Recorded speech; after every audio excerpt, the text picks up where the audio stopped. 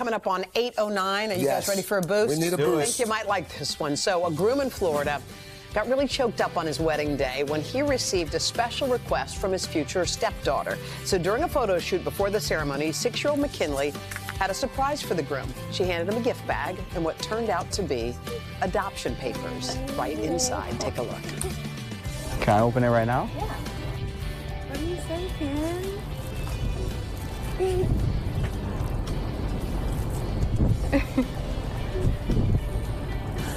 I would love to be your dad forever. I love you so much. If you didn't think a wedding day Yeah. could get any better, how about that? Those adoption papers made it even more joyful and memorable for that incredible family. Perfect. And I love what he said. I'd love to be your dad forever. That's Forever, so sweet. forever. Yeah.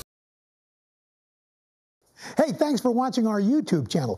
Find your favorite recipes, celebrity interviews, uplifting stories, shop our favorite deals, and so much more with the Today app. Download it now.